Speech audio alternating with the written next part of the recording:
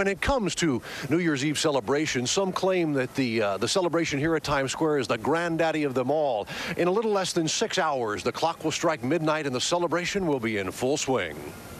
Look at that handsome Live from man. Stanford, That Tim is our pal, Tim 7, Fleischer, high above Times Square in the closing hours in 1985. So debonair. That was Tim's first year at Eyewitness News. And for the next three and a half decades, you have been welcoming, welcoming him into your homes. Uh, today, Tim is announcing his retirement after a career that spanned more than 35 years of outstanding work at Channel 7, from anchoring to reporting to being one of the journalistic leaders in our newsroom. And Tom, Tim is the longest tenured member of our on-air family. And before he says goodbye, we wanted to look back at what has been an incredible 35 years right here in New York.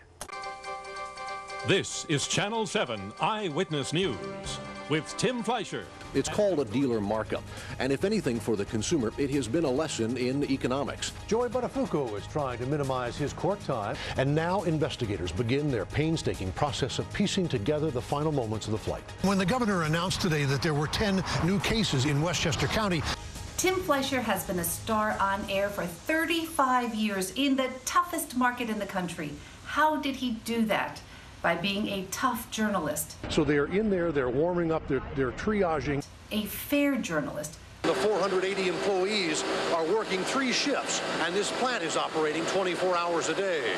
Why he's even a tech savvy journalist. The live streams appear right here at the top of the home screen. Thanks for staying up with us. I'm Tim Fleischer. And I'm Sandra Bookman. I don't think I knew Beacon from Edison or any place in between. And being able to sit next to you on the weekends made me comfortable because I felt great sitting next to someone who had been here for decades. For now, the Metro cards are only good on the N and R lines. The MTA's OMNY system has already recorded more than 5 million taps since the rollout of its contactless system. You knew the place, and you also could do everything, no matter whether it was breaking news or a feature. You were always very good at it.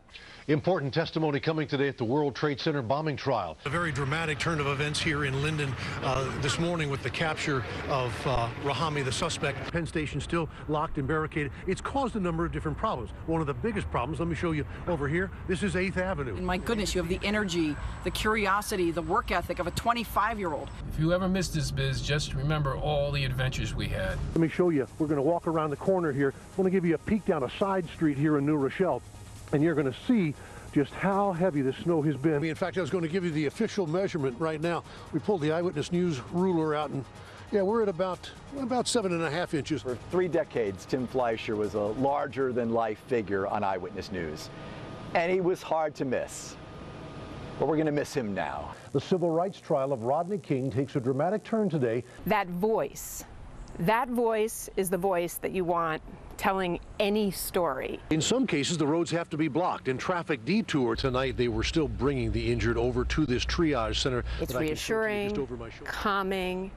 No one has a voice like Tim Fleischer. We are all going to miss that deep Delta blues baritone. Jim Dolan is following the trial for us and joins us live from Foley Square. Jim. Yeah, Tim, maybe the key pieces of evidence. But we're going to miss the smile more and the good word you always had more.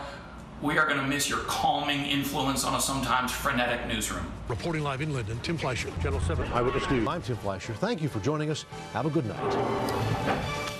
So great to see you. Tim, the man, joining us now live. Tim, I got to tell you, I have always looked up to you, and not only because you're the, one of the tallest guys here at the building, but because you set such a high standard for us all. Yeah, you certainly did. I mean, you've done it all. You've worked on every borough. Uh, you've worked here in New York City, uh, and you actually helped kick off the whole Eyewitness News This Morning franchise. You really Mhm. have done it all, and you've set the bar so high.